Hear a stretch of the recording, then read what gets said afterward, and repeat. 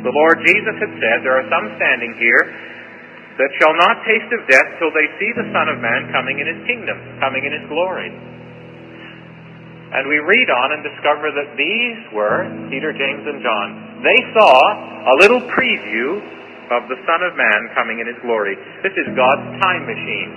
Peter, James, and John step into it, and suddenly they are swept through time, past the times of the Romans. The Roman eagle no longer flies over the city of Jerusalem. They move on into the Dark Ages, past our time in history, on into time, moving faster and faster until they come to that moment when the King will return in glory.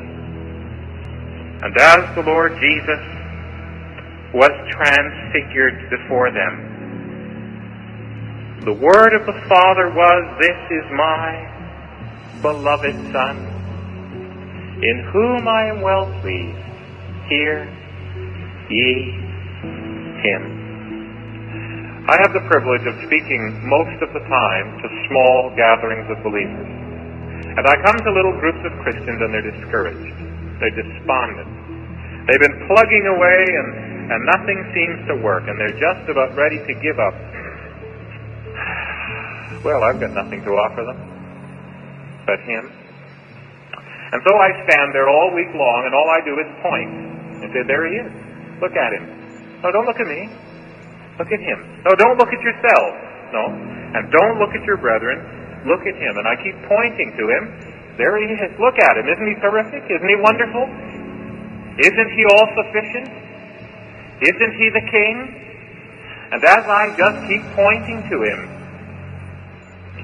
you see the gathering of God's people just flourish under the ministry of Christ Himself. And I believe that's what we need today.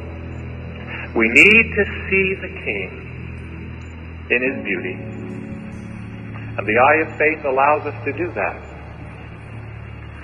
Oh, that we might get away from ourselves and get away from our things and our problems and just think for a little while about the King. There's a lot of noise in the world, a lot of distractions in the world, and the King still speaks in his still small voice. But the King wants you to enjoy an audience with him every day.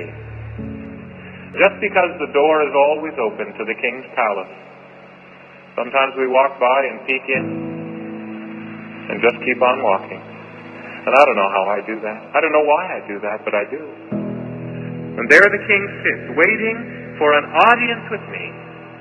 And the Father says, Hear ye him.